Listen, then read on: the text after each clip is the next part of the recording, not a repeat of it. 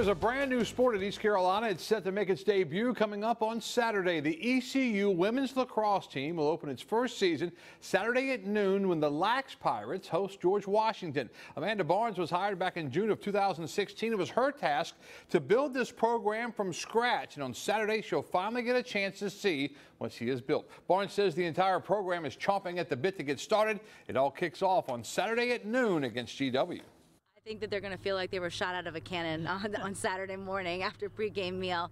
Uh, right now, it's us trying to manage their excitement um, and make sure that they're, you know, not getting too excited, so they're wearing themselves out before the game. Um, it's been a really exciting week. I think starting um, with our inter squad scrimmage last Friday, kind of building to this moment. It's it's been a great week.